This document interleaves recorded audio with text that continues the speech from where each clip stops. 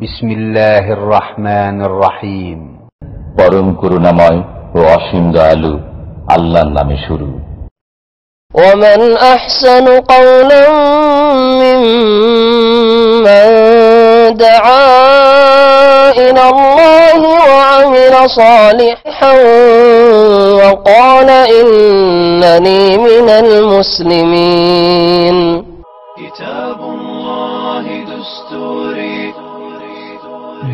كتاب الله دستوري وخير الخلق أسوتنا. بسنته انجلى نوري لهدي الحق أرشدنا. كتاب الله دستوري وخير الخلق أسوتنا. بسنته انجلى نوري لهدي الحق أرشدنا. كتاب الله دستوري وخير الخلق أسوتنا بسنته انجلى نوري لهدي الحق أرشدنا ورحمة الله وبركاته. إن الحمد لله نحمده ونستعينه ونستغفره ونعوذ بالله من شرور أنفسنا ومن سيئات أعمالنا. من يهده الله فلا مضل له ومن يضلل فلا هادي له. وأشهد أن لا إله إلا الله وحده لا شريك له وأشهد أن محمدا عبده ورسوله. صلى الله تعالى عليه وعلى آله وصحبه وسلم تسليما كثيرا. أما بعد فأعوذ بالله من الشيطان الرجيم. ومن تطوع خيرا فإن الله شاكر عليم. وقال الله تعالى في آية أخرى إن المنافقين يخادعون الله وهو خادعهم. ওয়াইদা কামু ইলা সালাতে কামু কুসালা ইউরা ও নান্নাস ওয়ালা ইয়াযকুরুন আল্লাহ ইল্লা কালিলা। আল্লাহ পাক রব্বুল প্রশংসা এবং রাসূলুল্লাহ সাল্লাল্লাহু ওপর সালাত সালামের পরে আজকে আলোচনা করব নফল এবাদত বন্দিগি সম্পর্কে। আজকাল অধিকাংশ মুসলিমরা ফরজেই বড় ঘাটতি করে ফেলেছে। নফল তো দূরের কথা। আবার অনেকে রোগ হচ্ছে যে ফরজে ঘাটতি কিন্তু নফল কাজ করে। এটা আরেকটা হাস্যকর বিষয়। এর অনেক দৃষ্টান্ত রয়েছে। আপনাদের বাস্তব জীবনে এইরকম দেখা যায়, বুঝেই করুক আর না বুঝেই করুক। আশ্চর্য লাগে যে নফল কাজে অগ্রগামী, কিন্তু ফরজ কাজে অলস, গাফিল, উদাসীন। অথচ আল্লাহ পাক রব্বুল আলমিনের সন্তুষ্টি অর্জনের জন্য সর্বপ্রথম উপায় হচ্ছে আল্লাহ পাকের পক্ষ থেকে যা ফরজ করা হয়েছে তা আদায় করা। আপনি ফরজ এবাদত বন্দেগী, ফরজ আল্লাহ পাকের আদেশ নিষেধ পালন করবেন, এর মাধ্যমে আল্লাহ পাকের সন্তুষ্টি অর্জন করতে পারবেন, এর মাধ্যমে আল্লাহ পাকের সান্নিধ্য লাভ করতে পারবেন, এর মাধ্যমে আপনি দুনিয়া আখেরাতে আল্লাহ পাক রব্বুল আলমের নিয়ামতের অংশীদার হতে পারবেন। তারপরে আপনার মানমর্যাদা সুন্দর করার জন্য নফল এবাদত বন্দেগীর প্রয়োজন রয়েছে। ফরজ এবাদত বন্দেগী হচ্ছে মানুষের ইমানের মূল বিষয়গুলি, মানুষের নাজাতের জন্য মূল বিষয়। আর নফল এবাদত বন্দিগি হচ্ছে তার পূর্ণতা দান করা। তাতে যেসব ঘাটতি, ত্রুটি রয়েছে আর সেগুলির পূর্ণতা হবে, আর অতিরিক্ত তাতে শোভা, সৌন্দর্য আসবে। সেটা অলঙ্কৃত হবে। এই হচ্ছে নফল এবাদত বন্দিগি। কিন্তু এই বিষয়গুলি সম্পর্কে যেমন বললাম যে কিছু লোক নফল তো দূরের কথা, ফরজেই ত্রুটি করে, আর কিছু লোক আছে নফলে কিছু কাজ করলেও ফরজে ও ত্রুটি করে। অল্প কিছু আল্লাহ পাকের বান্দা আছে, যারা আল্লাহ পাকের ফরজও সুন্দর করে আদায় করার চেষ্টা করে, তার সাথে সাথে আল্লাহ পাক রব্বুল আলমিন অথবা তার রসুল সাল্লাহ সাল্লাম ফরজ এবাদত বন্দিগির পরে যেসব নফল সন্ন্যাত মুস্তাহাব এবাদত বন্দেগীর জন্য উৎসাহিত করেছেন, সেগুলিও তো তারা ঘাটতি করে না, বরং যথাযথ সেগুলি আদায় করার চেষ্টা করে। নফল এবাদত বন্দিগির ক্ষেত্রে যদি নফল বলি তো আমাদের দেশে মানুষরা বুঝে যে নফল মানে শুধু নফল নামাজ। এটা আর একটা রোগ আমাদের বাঙালি জাতির। নফল বলতে শুধু নামাজে নফল, নামাজে শুধু নফল না, প্রত্যেক এবাদত বন্দিগিতে ফরজ আছে, নফল আছে। তৌহিদ থেকে শুরু করে। কালেমায় তৈব আলা ইলাহ ইল্লাল্লাহর শাহাদাত মোহাম্মদ রসুল্লাহর শাহাদাত এই থেকে শুরু করে পাঁচ অক্ট সলাত এই যে নামাজ জাকাত হ্যাঁ, আর্থিক এবাদত সেয়াম রোজা হজ ওমরা সমস্ত এবাদত বন্দীগীর ক্ষেত্রে ফরজও রয়েছে আর নফলও রয়েছে। আপনার ওপর যেসব ব্যয়বহন ফরজ নাফাকা খরচ করা ফরজ, আপনার বাপ মায়ের খরচ। যদি তারা অচল থাকে, বৃদ্ধ থাকে অথবা অভাবী থাকে, ফরজ। এইরকম আপনার স্ত্রীর ফরজ, আপনার ছেলে মেয়েদের ফরজ, এই ফরজ ছাড়াও নফল এই সব ক্ষেত্রেও রয়েছে। তাহলে নফলের বিষয়টি অত্যন্ত ব্যাপক মনে রাখতে হবে। নফল শুধু কয়েকটি এবাদতে সীমিত নয়, বরং প্রত্যেকটি এবাদত বন্দীগীর ক্ষেত্রে নফল রয়েছে। জবানের এবাদতের ক্ষেত্রে যেমন ফরজ রয়েছে, তেমন নফল রয়েছে। অন্তরের এবাদতের ক্ষেত্রে যেমন ফরজ রয়েছে, তেমন নফল রয়েছে। অঙ্গ প্রত্যঙ্গের এবাদত, শারীরিক এবাদতের ক্ষেত্রে যেমন ফরজ রয়েছে, তেমন নফল রয়েছে। আর্থিক এবাদতের ক্ষেত্রে যেমন ফরজ এবাদত রয়েছে, তেমনই নফল এবাদত বন্দিকে রয়েছে। আশা করি এই বিষয়গুলি সামনে রাখলে ফরজ এবং নফলগুলি বুঝতে সুবিধা হবে। এক শ্রেণির মানুষ মানুষ আছে, যারা ফরজেও আসলেও তাতে অলস হয়ে আসে, উদাসীন হয়ে আসে। আর যারা বেনামাজি, যারা মসজিদে আসে না, আর তাদের কথা তো বাদই দেন। যারা এক অক্ত নামাজ ত্যাগ করে, তারা যে নিজেকে কুফরিতে লিপ্ত করে, ওদের কথা বাদ দেন। যারা নামাজ পড়তে আসেন, তাদের অবস্থাটা আজকে তুলে ধরছি।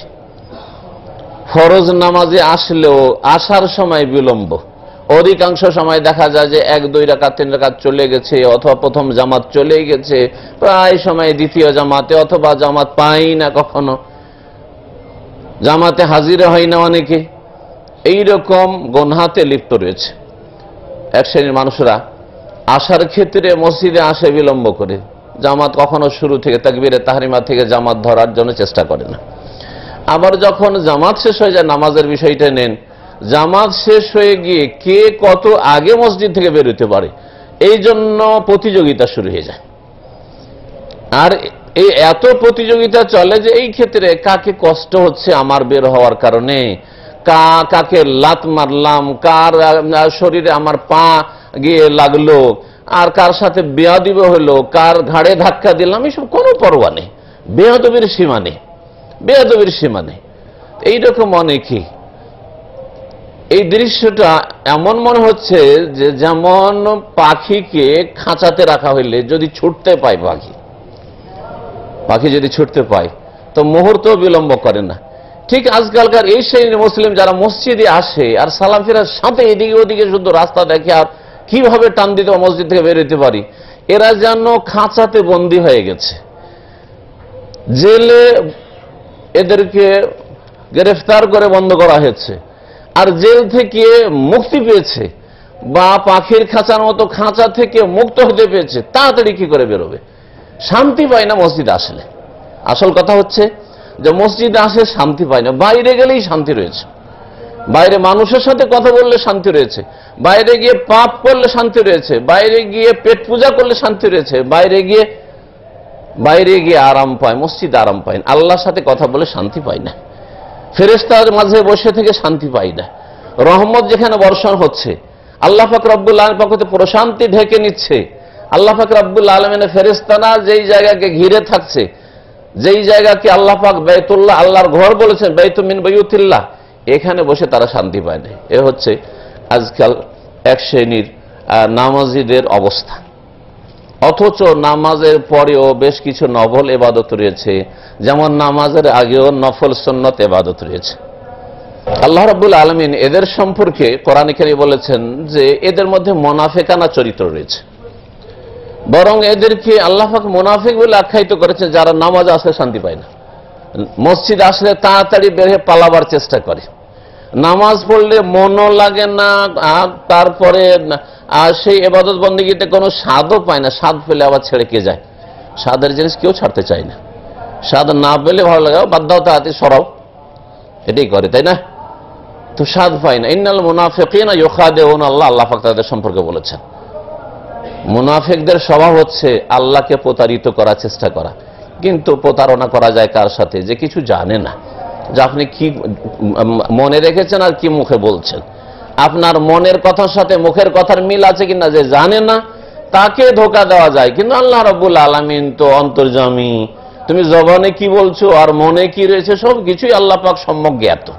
সুতরাং আল্লাহকে তো ধোকা দেওয়া যায় ও খাওয়া দেওহম সুতরাং এই প্রতারণার শিকার তারাই হয়। আল্লাহ পাক রাব্বুল আলমিন তার কৌশলে ফাঁসান তাদেরকে। তারা নিজেরাই প্রতারিত। আয়াতে বলেছে সূরা বাকারায়। ওয়াইদা কামু এলাসাল্লাহ আর মোনাফেকদের একটি চরিত্র হচ্ছে যে তারা নামাজে দাঁড়ালে কামু কোসালা, বড়ই অলসতার সাথে, গাফিলতের সাথে দাঁড়ায়। নামাজে আসে বড় গাফিলতার সাথে, আসাতে লেট আর যাওয়াতে আগে। আসবে দেরি করে, আর যাওয়ার চেষ্টা করবে তাড়াতাড়ি। আর নামাজের ভিতরে কোনো মন লাগে না। না অন্তর লাগে, না জবান সাদ দেয়, না অঙ্গ প্রত্যঙ্গ সাদ দেয়। শুধু বডিটা আছে কোন রকম নামাজে হয়তো। এগুলো মোনাফেকি নামাজ। ওয়াইদা কামু এলা সলাতে কামু কোসালা। অলসতার সাথে নামাজে দাঁড়ায়, যদি নামাজে দাঁড়ায়। আর না হলে নামাজ থেকে পালাবার চেষ্টা করে। আজকাল অধিকাংশ যারা আধা নামাজি, তারা মাগরে বেশা পড়ে সৌদি আরবে। আধা নামাজি যারা সৌদি আরবে, এখানে প্রবাসী মাগরে বেশা পড়ে। কারণ মাগরে বেশায় সবাই সবাইকে দেখছে, দোকানপাট বন্ধ করে ওপরে যাব, দেখতে যেন দৃষ্টিকটু লাগছে, লোকজনে কি বলবে, তাই নামাজ পড়তে আসে। জোহরেও নামাজ পড়ে না। রান্না করে, না হয় বিশ্রাম করে, আসরে আরাম করে, ফজরে শুয়ে থাকে। জি হ্যাঁ এইসব টাইমে তো আর কেউ কাউকে তেমন দেখে না। যার ফলে নামাজ পড়ে। এগুলো মোনাফিকদের নামাজ। ইরা ওনার নাস, এরা নামাজ পড়ে মানুষকে দেখাবার জন্য। ওয়ালাইজ করুন আল্লাহ কালিলা, এরা আসলে নামাজের মাধ্যমে আল্লাহকে স্মরণ করে না, আল্লাহর জিকির আজকার করে না, যেই জিকির করা ফরজ। এই ফরজ নামাজের জিকির করা হচ্ছে ফরজ। সুন্নত জিকির সম্পর্কে আমাদের দেশে এক শ্রেণির মানুষ তৎপর। আর সুন্নত জিকির করতে গিয়েও তাতে বেদাত মিশিয়ে বেদাতে জিকিরে পরিণত করে। সুন্নত জিকির করতে গিয়ে বেদাত মিশিয়ে বেদাতে পরিণত করে। আর ফরজ জিকিরে গাফেল। জিকির বলতে আমাদের দেশের মানুষরা বুঝে যে ওই বেদাতি জিকির। হ্যাঁ? সুফিদের জিকির। আল্লাহর জিকির না হয় ইল্লাহর জিকির, না হয় হুহুর জিকির এই সব জিকির বুঝে। আর না হলে ওইসব অজি বেদাতি, ওজিফার জিকির, পাঞ্জাব যেসব ওজিফাগুলি রয়েছে ওই সব পড়ার নাম জিকির না ওই সব জিকির না। ফরজ জিকির হচ্ছে পাঁচ অক্ত সলাত আদায় করব আকিমি সলাত আলে জিকির সুরা। তো আল্লাহাক বলছেন, আমার স্মরণের উদ্দেশ্যে, আমার জিকিরের উদ্দেশ্যে সলাৎ কায়েম করো। তো নামাজ আল্লাহকে স্মরণ করা যা আল্লাহ পাক ফরজ করেছেন।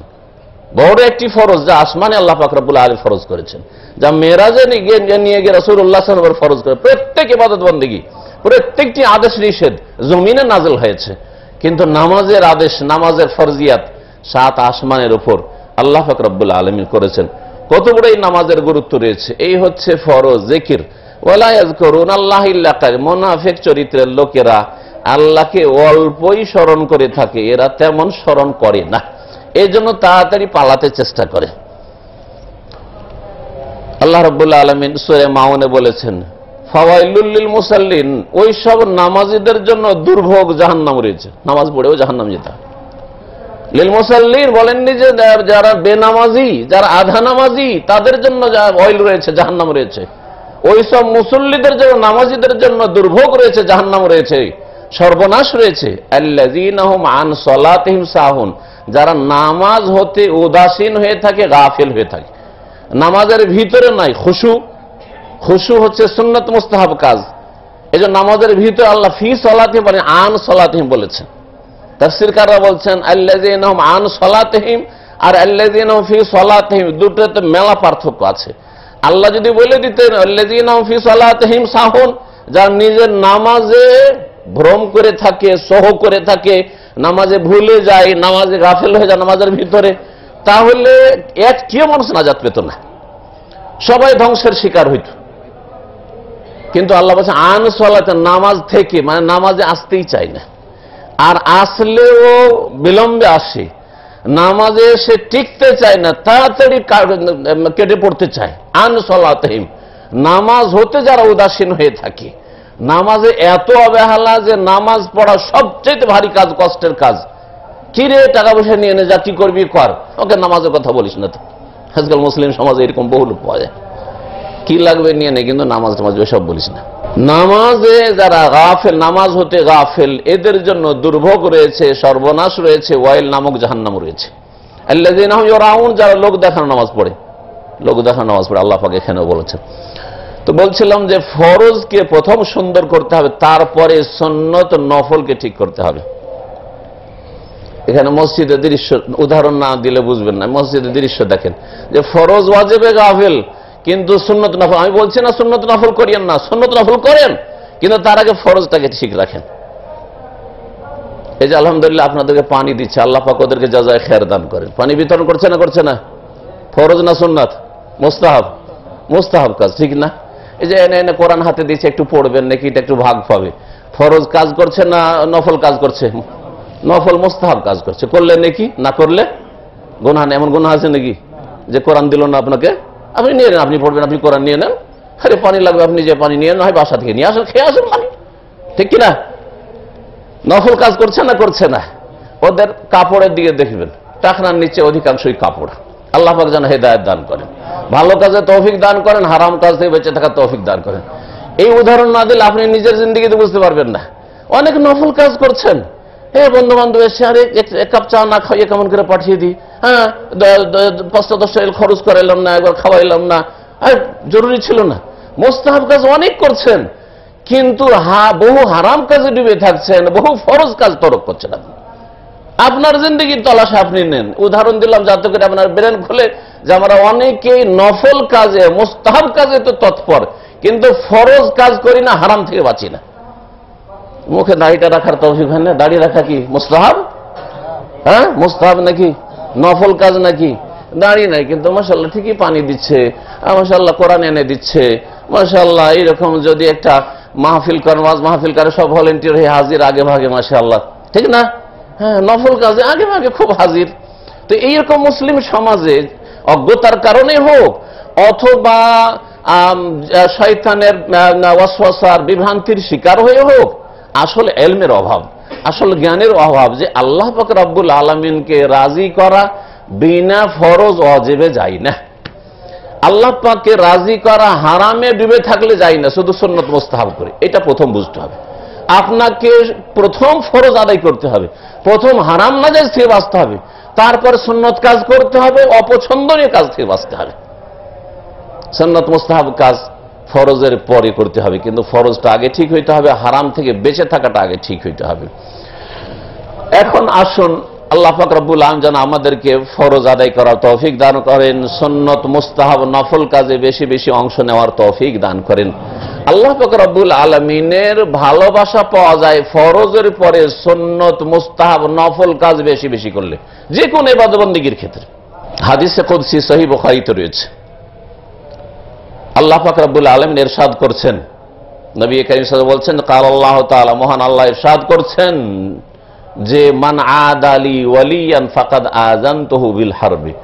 কেউ যদি আমার কারণে আমার বন্ধুর সাথে আমার দোস্তের সাথে শত্রুতা রাখে, দুশ্মনী রাখে, তার বিরুদ্ধে আমি যুদ্ধের ঘোষণা করলাম।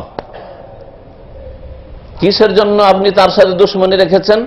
মান আদালি, আল্লাহর কারণে। সে যেহেতু তৌহিদ প্রতিষ্ঠা করে শিরকে পছন্দ করে না, কবর, মাজার, পূজা পছন্দ করে না, সে সোননাথকে ভালোবাসে সোননাথের প্রচার প্রসার করে সোননাথের দাওয়াত দেয় সোননাথ মোতাবেক আমল করে আর বিদাত করেন না, সেই জন্য আপনি তার সাথে দুশ্মনী রাখেন। লি, মান আদা, লি। হাদিসটাকে ভালো করে বুঝতে হবে। দুনিয়ার গরজে যদি দুশ্মনী হয়, সেটা হালকা, যদিও কাবিরা গোনা। ওর সাথে ব্যক্তিগত টাকা পয়সা নিয়ে ঝগড়া আছে। আর এমনি মনের মিল হয় না, সেই জন্য তার সাথে আন্তরিকতা হয়তো নাই। গোনার কাজ। কিন্তু আল্লাহ হয়তো যুদ্ধের ঘোষণা করবেন না। অবশ্যই গোনার কাজ। মমিন মমিনের সাথে অন্তরে হিংসা রাখবে, বিদ্বেষ রাখবে, শত্রুতা রাখবে, এসব হারাম। কিন্তু তার চাইতে বড় হারাম যে কি জন্য তার সাথে শত্রুতা? আল্লাহর কারণে, আল্লাহর দিনের কারণে আল্লাহ রসুলের সন্ন্যতের কারণে। কেন দুশ্মনী? ও এইরকম কেন নামাজ পড়ছে? হ্যাঁ? আমাদের সাথে এইরকম কেন করে না? সেই জন্য তার সাথে দুশ্মনী। সে কেন এই শির্ক, এটা শির্ক, ওইটা শির্ক বলছে, এটা বিদাত, ওইটা বিদাত বলছে, আল্লাহর দিনের কারণে তার সাথে দুশ্মনী। মানে আদালি ওয়ালিয়ান, ওয়ালি মানে এই নয় যে যাদের কেরামতির কথা বাজারে খুব ছড়িয়ে আছে, ওরা ওয়ালি না। ওয়ালি মানে যে কোনো মুসলিম, আল্লাহর ওয়ালি। ভালো করে শুনে রাখেন, যে কোনো মুসলিম? আল্লাহ ওয়ালিউল মমিনিন, আল্লাহ কোরআনে বলছে, আল্লাহ প্রত্যেক মমিনের ওলি বন্ধু। মমিন, যে কোনো মমিন মুসলিম যদি ইসলামের গণ্ডিতে থাকে, সে আল্লাহ পাকের ওলি, আল্লাহ পাকের বন্ধু। আর কাফের মুশেক আল্লাহ পাকের শত্রু, দুশ্মন। আর তারপরে যত আপনি ফরজের পর নফল ইবাদত বন্দিগি বাড়াবেন, যত আল্লাহ পাকের নৈকট্য লাভ করবেন, তত ভালো ঘনিষ্ঠ আল্লাহ পাকের ওলি বন্ধু হইতে পারবেন। এর জন্য সারা জিন্দগিতে কোনো কেরামতও লাগে না, আর এর জন্য কারও সার্টিফিকেট লাগে না, আর বেলায়েতের জন্য কোনো সিলসিলা তরিকত লাগে না, সব বাজে কথা এগুলো। সব ফালতু কথা এগুলো। কোরআনে বা হাদিসে প্রত্যেক মমিন মুসলিমের সামনে আল্লাহ পাকের বেলায়াত বন্ধুত্ব এর কথা সবার জন্য এই রাস্তা খোলা আছে। এই বন্ধুত্ব আর বেলায়তের রাস্তা সবার জন্য খোলা আছে। তো নবী করিম সাল্লাহ বলছে আল্লাহ পাক বলেন যে আমার দুশ্মনের সাথে, আমার বন্ধুর সাথে কেউ যদি দুশ্মনী রাখে ফাকাত আজান তহবিল হারবে, তার বিরুদ্ধে আমি যুদ্ধের ঘোষণা করলাম। আল্লাহ যদি যুদ্ধের ঘোষণা করে কোথায় রেহাই পাবে? হ্যাঁ? সুদখোরের বিরুদ্ধে আল্লাহ পাকের এবং রাসূলের যুদ্ধের ঘোষণা আছে। এই জন্য সুদখোর কখনো শান্তি পায় না দুনিয়াতে। কখনো শান্তি পায় না। সুদখোরের ছেলেমেয়েরা ওই হারাম পয়সা থেকে কখনো ভোগ করতে পায় না। কিছুদিন খুব আমোদ ফুর্তিতে চলে, আর তারপরে ধস নেমে আসে, দুনিয়াতে ধস নেমে আসে, আর আখেরাতের আজাব তো রয়েছেই। তারপরে বলছেন, অমা তাকাররাবা এলাইয়া আবদি বেশাইয়েন আহাব্বা এলাইয়া মিম্মাফতারালতহু আমার বান্দা আমার সান্নিধ্য লাভ করে, এমন কিছু নেই যা আমার ফরজ এবাদত বন্দেগীর চাইতে বেশি গুরুত্বপূর্ণ হইতে পারে।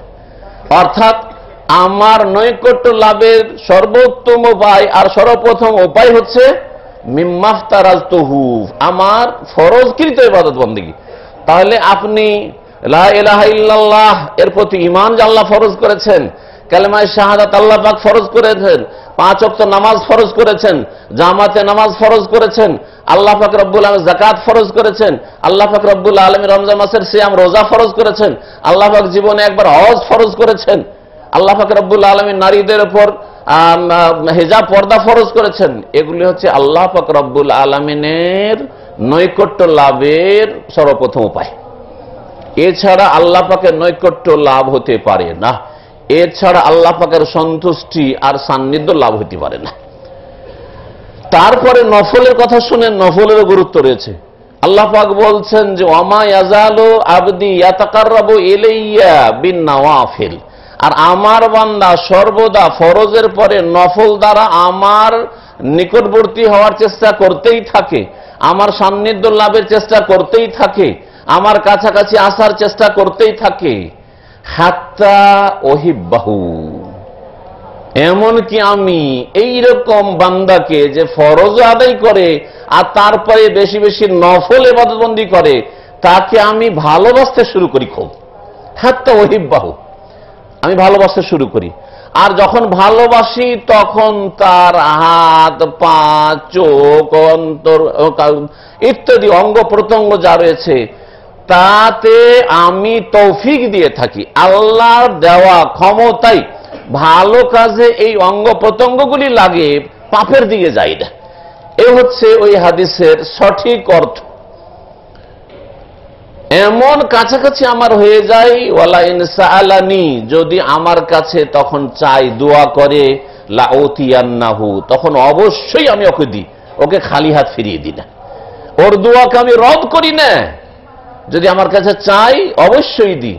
ওয়ালাইনিস্তানি আর আমার কাছে যদি আশ্রয় চাই যে আল্লাহ এই অনিষ্ট থেকে আশ্রয় করো এই খারাপ থেকে আশ্রয় করো, আশ্রয় দাও, এই ব্যাধি থেকে আমাকে আশ্রয় দান করো, তোমার আশ্রয় গ্রহণ করছি, তোমার কাছে আশ্রয় চাইছি, বালা মুসিবত থেকে বিপদাবাদ থেকে, রোগ থেকে, ইত্যাদি ইত্যাদি যে কোনো অনিষ্ট থেকে, আমার কাছে যদি আশ্রয় গ্রহণ করে, লা ওই জান্নাহু অবশ্যই তাকে আমি আশ্রয় দিয়ে থাকি। তাকে আমি আশ্রয় দিয়ে থাকি। নফল এবাদত বন্দেগী অনেক রয়েছে বললাম, দু চারটি নজির বলি, কথা লম্বা হয়ে যাচ্ছে। আমরা এই আলোচনাকে বেশি লম্বা করতে চাই না, কারণ এরপরে আমাদের ইসলামী সেন্টারে ধারাবাহিক তফসির হয়, তখন সেখান থেকে কেটে আবার এখানে দিতে হয়। যার ফলে কথা সংক্ষেপ করছি, নামাজের ক্ষেত্রে নফল। নামাজের ক্ষেত্রে নফল সম্পর্কে রবি করিম সাল্লাহ ইসলামের হাদিস রয়েছে সহি মুসলিমে রয়েছে।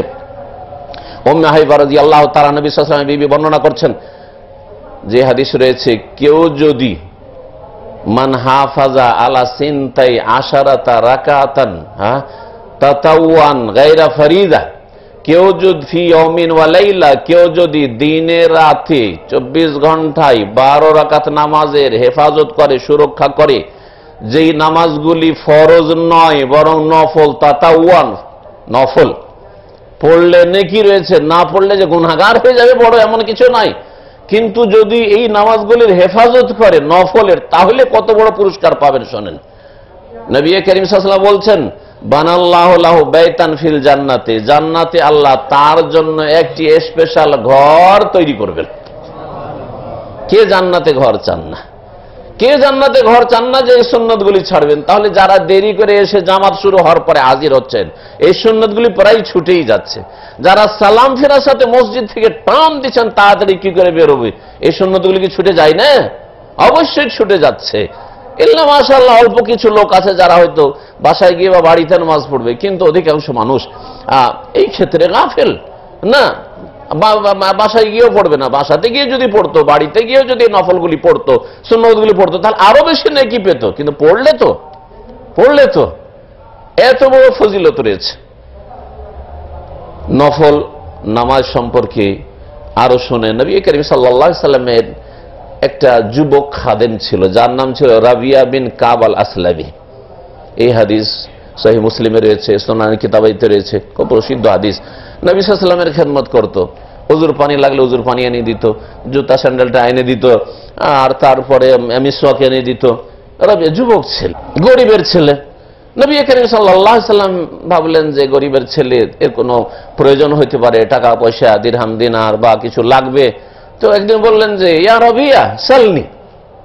রবিয়া, আমার কাছে কিছু চাওয়ার থাকলে তুমি চাও, আমি তোমাকে দেওয়ার চেষ্টা করব। সালনি আমার কাছে চাও। তখন এই যুবক ছেলে, অথচ আজকাল চল্লিশ পঞ্চাশ বছর বয়স হয়ে গেল পয়সার লোভী। বরং যত বয়স বাড়ছে, তত পয়সার লোভী। অনেকের গবেষণা এটা, যে যত মানুষের বয়স বাড়ে, তত দুনিয়া লোভী হয়ে যায়, পয়সা লোভী হয়ে যায়। আরও বাঁচতে চায়, আরও সুখে থাকতে চায়, আরও টাকা পয়সা চায়। লোক আরও বেড়ে যাচ্ছে আজকালকার জামানে ফেতনা এত। এই যুবক ছেলে রাসুল্লাহ সাল্লাহ সাল্লাম উদ্দেশ্য করেছেন যে টাকা পয়সা চাইবে, ধন দৌলত চাইবে, কিছু, আর চাইবে, গানিমত থেকে দেবো, বাইতুল মাল থেকে দেবো, কিছু দেবো একে। এ হয়তো একটা বাহন চাইবে ওঁট চাইবে ওঁট দেবো, যা কিছু চাই দেব। ওই সাহাবি যুবক ছেলে বলছে যে, ইয়া রাসুল আল্লাহ মোরা ফাঁকা টাকা ফেলছেন না আপনার সাথে জান্নাতে একসাথে থাকতে চায় শুধু জান্নাত চাই না কথা বললেন না। এ হচ্ছে উচ্চ আকাঙ্ক্ষা। আমলের সাথে উচ্চ আকাঙ্ক্ষা করতে হবে। আমলবিহীন, কর্মবিহীন, উচ্চ আকাঙ্ক্ষা করা ফালতু কাজ। দুনিয়ার ক্ষেত্রে এই কাজ করেন না। আমি অনেক বড় মানুষ হব, আর দুনিয়ায় কোনো কাজকর্মে করলে না, মেহনত করলে না, এইরকম দুনিয়ায় কোনো লোক নেই। কাজ করে মানুষ আশা করে, বড় বড় হোপ রাখে যে এই করব, সেই করব, আর এই হব, সেই হব। তাহলে আপনাকে যখনই বড় আশা আকাঙ্ক্ষা করবেন, এটা যদি ভালো কাজের ক্ষেত্রে হয় দিন দুনিয়ার, নিষিদ্ধ নয়, কিন্তু তার সাথে তার অনুকূলে কর্ম লাগবে। সেরকম কাজ করতে হবে। মোরাফাকা তাকাফিল জান্নাত, আপনার সাথে জান্নাতে থাকতে চায় নবী করিম আলাইহি সাল্লাম বলে আওয়া গায়রা জালিক আরে, ওটা তো আছে। আর কিছু? আর কিছু? আবার ও সুযোগ দিচ্ছেন যে কিছু চাক, দুনিয়ার কিছু। আওয়া গায়রা জালিক এর ছাড়া আর কিছু লাগবে না? তখন ওই যুবক ছেলে বলছে, হোয়া জাকাই আর রাসূলুল্লাহ। ব্যাস, ওইটাই চাই হোয়া জাকাই আর রাসূলুল্লাহ, ব্যাস, ওইটাই চাই। আর কিছুই চাই না আমি। নবী করিম সাল্লাহ আলি সাল্লাহ বললেন যে দেখো, তুমি যদি আমার সাথে জান্নাতে থাকতে চাও, তাহলে তোমাকে একটা কর্ম করা লাগবে। শুধু আশা করলে হবে না। হ্যাঁ? আর শুধু আমার দোয়ার উপর আল্লাহর কাছে আমি দোয়া করে দেবো, এর উপরে ভরসা করলে হবে না। যেমন আজকালকার আধা নামাজি বে নামাজিদেরকে যদি নামাজের কথা বলেন, কি ফজরে আসেন? হুজুর দোয়া করেন ফজরটে আসা হয় না। মানে অপরের দুয়ার ওপর ভরসা শুধু। অপরের দুয়ার ভরসা। নবী সাল্লাহ এটা শিখাননি কিন্তু। এই হাদিস থেকে শিখেন। যে কথা বলেন যে, ঠিক আছে, তোমার জন্য দোয়া করে দিলাম। তুমি আমার সাথে আনতা মাই ফিল জান্না তুমি আমার সাথে জান্নাত। এই কথা বললেন না। কি বলেছিলেন শোনেন? আইননি আলা নাফসিকা বেকাসরাতি সুজুদে। তাহলে আমাকে একটু হেল্প করো। আইননি মানে আমাকে সাহায্য করো। নবী সাল্লাম বলছেন যে, তুমি আমার সাথে কি করো? সহযোগিতা করো। আলা নাফসিকা, তোমার ব্যাপারে বেকাসরাতে সজুদ। বেশি বেশি সিজদা করে মানে বেশি বেশি নফল সুন্নাত নামাজ পড়ে। বেশি বেশি সুন্নত নফল পড়ে। বারো রাকাত নামাজ বা দশ রাকাতের আব্দুল্লাহ বিন উমর রাদিয়াল্লাহু তাআলা বুখারীতে হাদিস রয়েছে। বারো অথবা দশ আপনি পড়েন, জোহরের আগে চার, জোহরের পরে দুই, মাগরিবের ফরজের পরে দুই, এশার পরে দুই, ফজরের আগে দুই। এ হচ্ছে দশ রাকাত, আর যে হাদি বারো রাকাত, আর যে হাদিসে দশ রাকাত রয়েছে, জোহরের আগে দুই আর জোহরের পরে দুই। এইভাবে কমপক্ষে দশ, বারো আর এক হাদিসে রয়েছে, জোহরের আগে চার, জোহরের পরে চার, তাও আপনি পড়েন আরও ভালো। এই সন্ন্যতগুলি যদি পড়েন, তো আপনি ফরজের ওপর অতিরিক্ত নফল নামাজ পড়লেন, এবাদত বন্দি করলেন, যার মাধ্যমে আল্লাহর ভালোবাসা, হাত্তা ওহিবাউ আল্লাহ বলছে, আমি ভালোবাসবো নফল এবাদত বন্দিকারীকে। ফরজের পরে যদি নফল করেন, তাহলে আল্লাহ ভালোবাসবেন। আর ফরজে ত্রুটি রেখে নফল করবেন, ওতে ভালোবাসা আল্লাহ পাকের পাওয়া যাবে না। নফল এবাদত বন্দীগীর মধ্যে হচ্ছে তাহাজ্জুদের নামাজ সবচেয়ে উত্তম নামাজ। নবী সাল্লাম হাদিস রয়েছে। সুতরাং যখন আপনি দিনে রাতে দশ রাকাত, বারো রাকাত এই সন্ন্যত নামাজগুলি পড়ছেন, এখন কতদিন আর এইরকম শুধু এতটার উপরে ক্ষান্ত করবেন? তাহাজ্জুদ পড়া অভ্যাস করেন? আরে আধা ঘণ্টা, এক ঘণ্টা তাহাজ্জুদ পড়ার অভ্যাস করেন? তাহাজ্জুদ পড়েন, তার সাথে সাথে সলাতুর দোহা পড়েন। অথবা তাহাজ্জুদ পড়তে উঠতে পারছেন না সলাতুর দোহাটা নিয়মিত পড়েন। যেন আবু রাজি আল্লাহ তালানহকে রসুল্লাহ বলেছিলেন যে, দেখো তুমি এই সলাতুর দোহা কখনো ছাড়িও না। দুর্বল মানুষ, বেতনটা পড়ে শুয়ে যেও, আর সলাতুর দোহা চাষতের নামাজ কখনো ছাড়িও না। সলাতুর দোহা সম্পর্কে বড় ফজিলত হাদিস করিম সাল্লাহ আলি সাল্লাম হাদিসে বলেছেন, যে মানুষের শরীরে যে জোড়গুলি রয়েছে, অর্থাৎ অঙ্গ প্রত্যঙ্গ রয়েছে, ইউসবেহ মিনকুল্লে আবদিন আলাকুল্লে সোলামা সাদাকা। প্রত্যেকটি জোড় অঙ্গ প্রত্যঙ্গের ওপর সাদাকা রয়েছে। ফকুল্ল তসবিহাতিন সাদাকা। যদি সুবহান আল্লাহ বলেন, একটা সাদাকার নেকি বলেন। আলহামদুলিল্লাহ বলেন সাদাকা। লাইলাহিল্লাহ বলেন সাদাকা। আল্লাহ আকবার বলেন সাদাকা। ভালো কাজের উপদেশ দেন আমর মারুফে সাদাকা। অন্যায় আলী মন করে অন্যায় কাজে বাধা দিলেন একটু অন্যায় কাজের ক্ষেত্রে বিরত রাখার চেষ্টা করলেন, সাদাকা। এইভাবে মেলা সাদকা গণনা করার পরে নবী করিম সাল্লাহ বললেন ওয়াইউজিও মিন জালেকা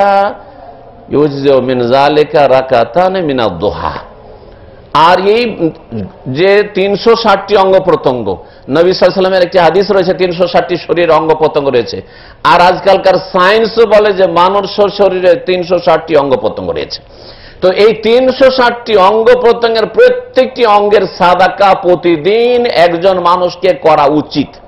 যে আপনার প্রত্যেকটি অঙ্গের পক্ষ থেকে একটা করে কি করলেন? সাদকা করলেন আপনি, একটা অঙ্গ দিয়েছেন, আল্লাহ একটা হক আদায় করলেন। তাহলে আপনি সকাল থেকে যদি শুরু করেন, নেক আমলগুলি যারা নিয়মিত নেক আমল করেন, ফরজ নফল, তাহলে এই তিনশো ষাটটা সাদাকা আদায় করা খুব সহজ খুব সহজ। কিন্তু গাফিল হয়ে থাকলে বড়ই মুশকিল। আর যদি আপনি না পারেন, তাহলে কমপক্ষে যদি দুই রাকাত নামাজ সলাতুজ্জোহা চাস্তের পড়ে নেন এই তিনশো ষাটটা অঙ্গে, অঙ্গ প্রত্যঙ্গের জোরের পক্ষ থেকে হক আদায় করার জন্য, সাদকার জন্য যথেষ্ট হবে নবী করিম সাল্লাহ বলছেন।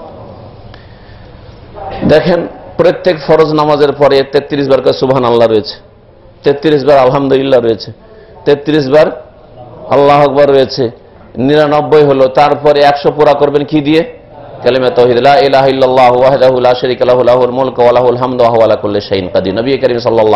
বলছেন 100 বার গেল, ঠিক না? তো এতে তো 100টা সাদাকা হইল। হইল না হইল না 100টা সাদাকা, এটা একটা বুঝেন। 100টা সাদাকা গেল।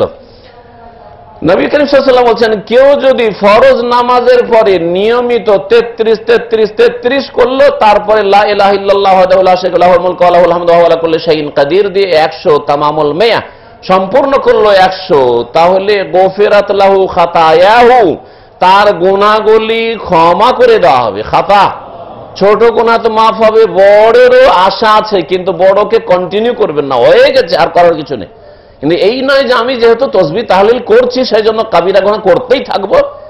এটা বদনসিবের লক্ষণ। যার ভাগ্য খারাপ, তার লক্ষণ যে আমি তো নেকিও করছি, তো গুণা করলে অসুবিধা কি? তার নসিব খারাপ হয়েছে কারণ এই রকম লোকের অধিকাংশ সময় পাপের অবস্থায় মৃত্যু হয়। কারণ এ পাপের কাজে সাহসী। এর দুঃসাহসিকতা বেশি। কিন্তু অতীতে যা ঘটে গেছে করার তো কিছু নাই। হয়েই গেছে, আর হাতছাড়া হয়ে গেছে, পাপ হওয়ার যা হয়ে গেছে। আপনি এখন সেই গুণাগুলির কাফারার জন্য এই রকমের নেক আমলগুলি করেন। সুবহান আল্লাহ পড়া, আলহামদুলিল্লাহ পড়া, আল্লাহ আকবর পড়া, কালমা তহিদ পড়া, একশো বার পুরা করে, এগুলি সব নফল এবাদত সন্ন্যাত মোস্তাহাব এবাদত কিন্তু দেখেন এর ফজিলত কত বড়। গফিরাতলাহু খাতায় তার গোনাগুলিকে মাফ করে দেওয়া হবে। ওয়াইন কানাত মিসলা জাবাদিল বাহারি, যদিও তার গোনার পরিমাণ সমুদ্রের সাগরের ময়লা আবর্জনা আর ফেনা পরিমাণ হোক না কেন। কত ময়লা আবর্জনা থাকতে পারে সমুদ্রে, এত সাগর, মহাসাগর রয়েছে। চিন্তা করুন আপনি।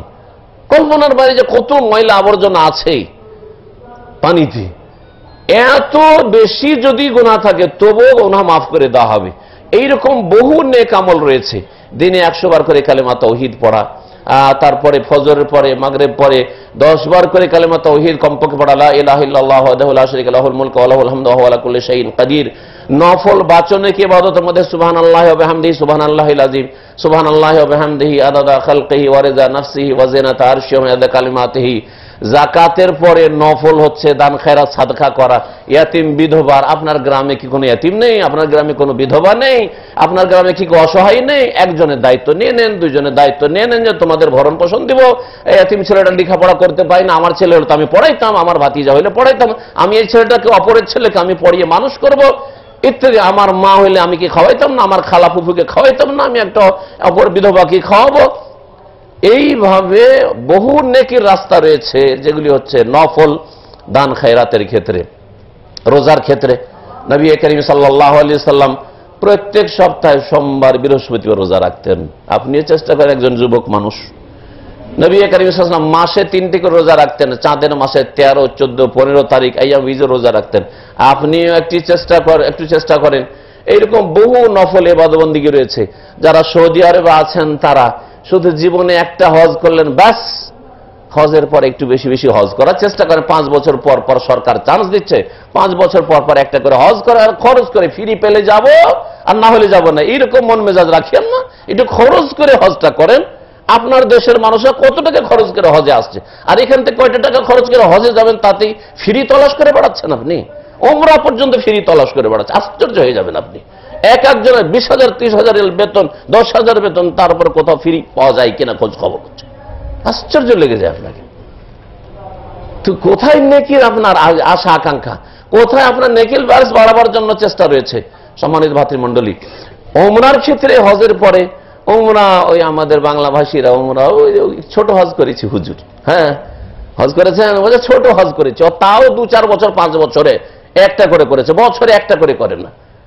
নবী করিম বলছেন যে তোমরা উমরার পরে উমরা। তাবেও বাইনাল হজ্জ অল উমরার পরে, হজের পরে আবার উমরা করতে থাকো, আবার হজ করতে থাকো। এতে মানুষের দুনিয়ার দারিদ্র মোচন হয় আর গুনাহ খাতা মাফ হয়ে যায়। যেমন লোহা থেকে মরিচা দূর করে- দেওয়া হয় কামার সালাই পোড়ালে গিয়ে ওই রকমই হজ, উমরা বেশি বেশি করলে এর মাঝের যে গুণাগুলি রয়েছে সেগুলি মাফ হয়ে যায়। আল্লাহ ফাকরাবুল আলম যেন আমাদেরকে ফরজ, অজেব আদায় করা তৌফিক দান করেন, হারাম নাজাইজ থেকে বেঁচে থাকার পুরোপুরি তৌফিক দান করেন, সুন্নত, মুস্তাহাব কাজে বেশি বেশি অংশ নেওয়ার তৌফিক দান করেন, অগ্রগামী হওয়ার তৌফিক দান করেন মাকরু, অপছন্দনীয় কাজ থেকে, আপত্তিকর কাজ থেকে, অশোভনীয় কাজ থেকে, কথা থেকে বেঁচে থাকার যেন তৌফিক দান করেন। ওসল্লাহ আলী নবীরা মোহাম্মদ আলা আলহি ওসাহাবি